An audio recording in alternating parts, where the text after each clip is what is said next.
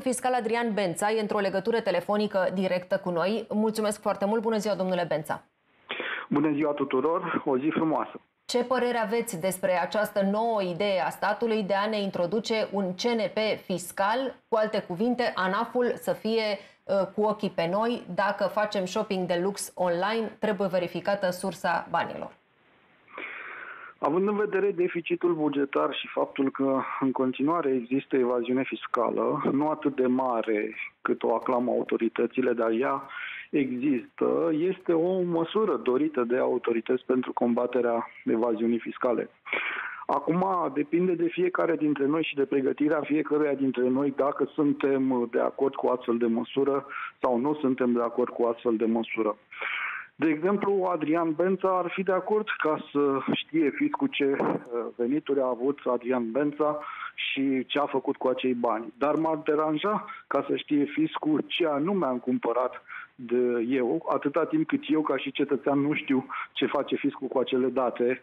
Să vă dau un exemplu concret. Vorbesc cu dumneavoastră printr-un telefon mobil poate și fiscul, operatorul fiscului are acel telefon mobil. Mă deranjează faptul că uh, marca mea de telefon sau uh, tipul de telefon pe care îl utilizez va fi cunoscut de autorități. Nu mă deranjează să fiu verificat dacă mi-au declarat veniturile, pentru că mă consider un contribuabil corect și trebuie să ne plătim toți taxele. Dar mă deranjează dacă știu uh, autoritățile acele date personale care n-ar trebui să le știe.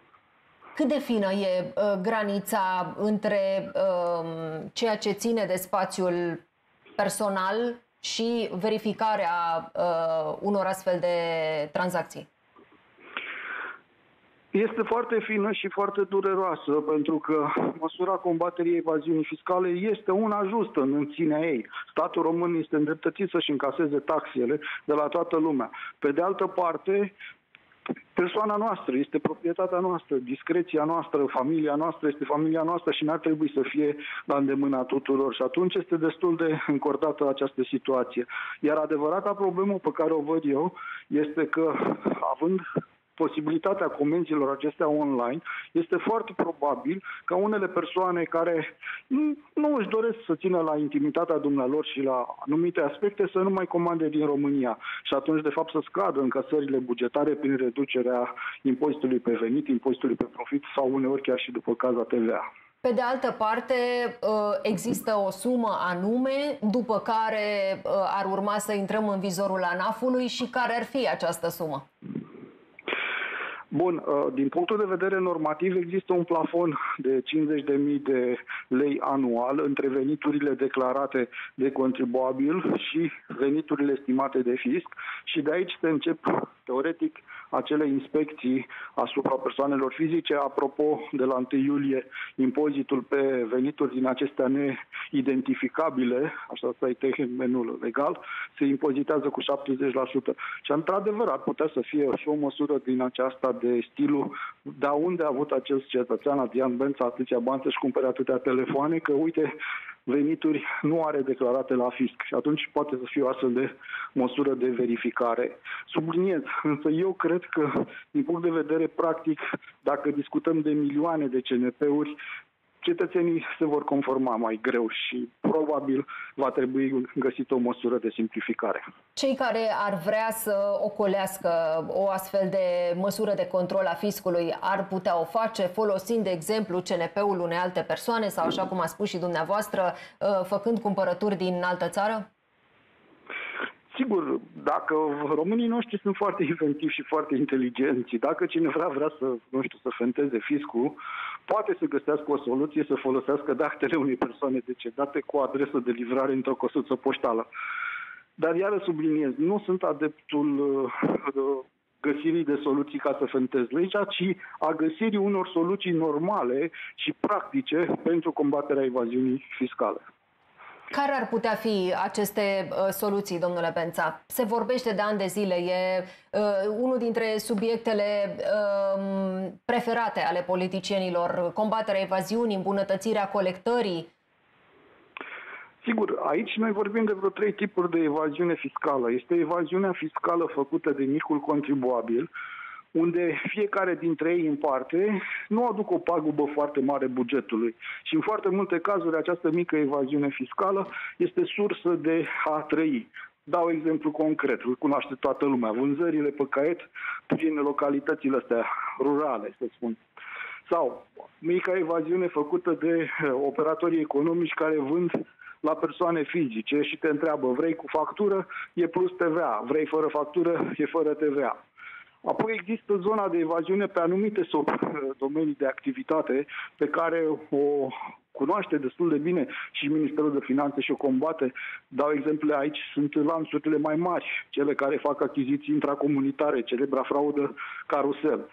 Mai sunt anumite zone de activitate de evaziune fiscală în zona produselor accizabile și aici trebuie spus că unele produse accizabile gen țigări uh, sau uh, băuturi alcoolice, accizele sunt destul de mari și atunci uh, ratele de profit sunt mari când faci evaziune fiscală. Deci sectoarele de activitate se pot identifica și se pot găsi măsuri concrete și dau exemplu concret, citeam chiar în weekendul acesta în presă că autoritățile fiscale s-au dus într-o zonă de uh, activitate făcută de ITP-uri, unde se pare că și acolo era procedura să nu se emită bon fiscal pentru încasări, dar se eliberau documentele de ITP.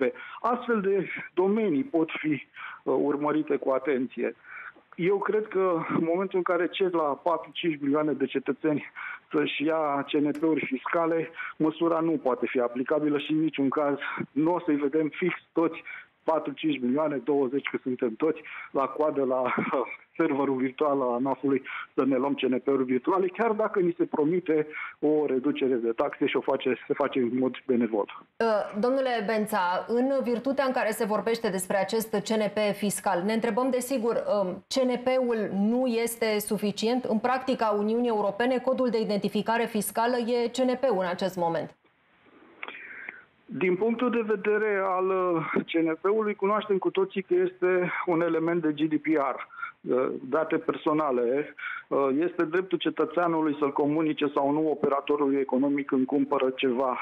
Tocmai pentru că este foarte sensibil. Și cu ce ar face diferit CNP-ul fiscal? Una este un cod fiscal public, cum ar fi un cod fiscal la o firmă sau la chiar și la un PFA, față de CNP-ul uh, persoanei fizice. Este ține de mentalitatea noastră. Uh, de exemplu, în Italia este un număr de șapte cifre, care, dacă nu ți-l comunică nimeni, vânzătorul pune 0000 și asta e uh, se poate trimite factura la fisc. Dar spre deosebire de noi, la, în Italia se comunică doar valoric ai cumpărat de 5 lei plus TVA, nu spune ce anume ai cumpărat de acei 5 lei plus TVA. De asta spun eu că uh, cetățenii n-ar trebui să se sperie de valori dacă toți suntem corecți. Asta înseamnă că fiscul știe despre veniturile noastre. Ar trebui să fie îngrijorați despre datele personale care uh, se pot afla din uh, acele bunuri. Dau, dau alt exemplu. Uh, îmi cumpăr medicamente. Sigur, cu respectarea prescripțiilor medicale, tot felul, tot ce se întâmplă. N-ar trebui să știe fiscul uh, bolile de care suferă respectiva persoană. Da, din nou ajungem la granița fină între uh, spațiul personal și modalitatea de verificare a statului uh, în privința sursei veniturilor, nu? Cam așa. Deci asta este într-adevăr discutabil. Veniturile trebuie să fie transparente, la vedere și impozitate și declarate de persoanele fizice și evident și de operatorii economici. Datele personale ar trebui să rămână doar date personale.